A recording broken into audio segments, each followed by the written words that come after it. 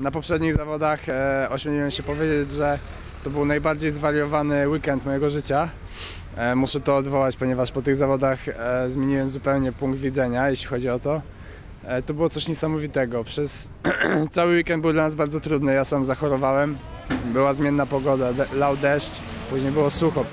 Walczyliśmy cały weekend, ponieważ e, była to walka o drugie miejsce w mistrzostwach. Pierwsze już było niezagrożone. E, Było nas trzech, ja, Ulrik Lineman i Jussi Lepihalme. Mieliśmy szansę na drugie miejsce e, z bardzo małą różnicą punktową. E, Ostatecznie startowałem z drugiego pola w finale B, po czym po pierwszym zakręcie zaczęło się dziać coś strasznego. Wszyscy z tyłu zaczęli nas atakować. Dostałem chyba łącznie z pięć uderzeń, po czym urwało mi się koło.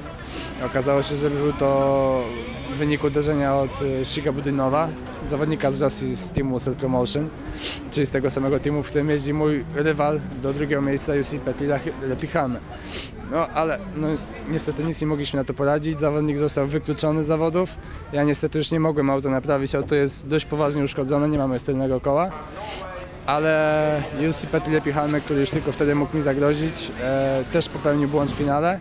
E, nie dojechał, został na ósmym miejscu, przez co nie, nie odzyskał punktów, których do mnie tracił i ostatecznie udało nam się zająć drugie miejsce. Tak więc byliśmy już pewni, że, że to był jeden z najgorszych weekendów, a ostatecznie okazało się, że jesteśmy wicemistrzami Europy.